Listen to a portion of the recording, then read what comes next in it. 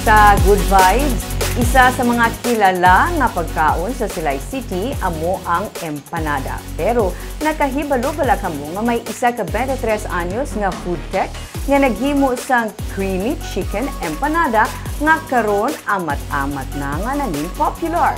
Yaring report ni Romeo Subaldo. Mahumok nga golden brown nga crust, kag creamy ang fillings. Inang sikreto sa empanada ni Via Torres sang 17th Food House sa Silay City. Sa may Zamora Street sa Barangay 3 sa Silay City, nahamtang ang ilang baligyaan. Ang dalan mismo nga nagakonect sa atubang sang City Hall. Ang guwa sang balay sang lola ni Via, ilagin himo nga gamay nga cafe. December 2021, nagsugod si Via sa pagbaton sa orders hasta nga may adlaw-adlaw na nga nagapangita sang iya nga creamy chicken empanada. Pro- nag-produce ko sa Amoni Cafe para maka-produce ko bala ang ano, ng everyday na. Kay isang una, by schedule ko lang ang pag-produce. Kung may order lang? Mm. Po, yung ginatingog ko ang pag-order nila. Isang ano na nagdugay na nga ano, ng damo, nagapangita everyday. Mm. Sabay ko, ah, sige, dugangan ko coffee and mga finger foods. Nagtapos siya sa kurso nga food tech. Sa eskwelahan niya natunan ang ining recipe. Halin sa crust, pagkato sa fillings, siya tanan ang nagapreparar. Mas mahapos na lang kung subong ang pagputos ng empanada kamayara na sang hurmahan niya mabakal, hindi pareho sang una nga manumano pa. Gina-deep fry niya ini sa soya oil para healthy. Pagkatapos prito, hindi oily ang crust sang iya empanada. Ano tamo tsura niya ganyo? The fried chicken. The butter, ka fried chicken. Mm. Namin dyan, very nice. Ito namin. Namin, ano ko kaya na-maintain niya ang pagka-creamy niya. Kasi deep fry mo siya. Doon natago, sa sulod.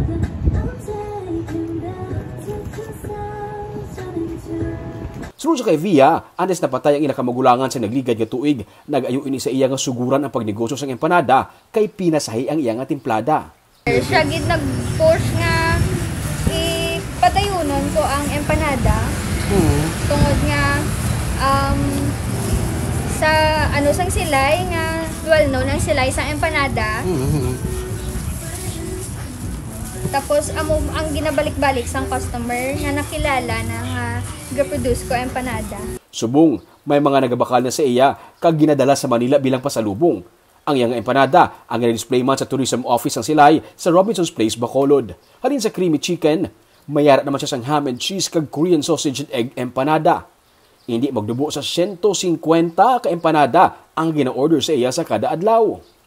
um, a day maka pinakanubo na gina sir 150 Mm. Tapos kung 150 pesos 2, 300. 300 isa ka na nasa dayon. May ara man di sir ga-order um, mga food pack para sa pumahaw bala sa Boreal. Mm, oh, okay, tingog-tingog man damo ay. Mm, damo ay.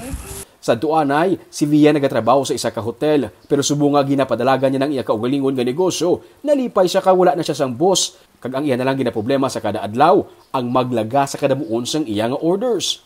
Ara sa ilang nga Facebook page nga The 17th Food House ang ilang nga contact details.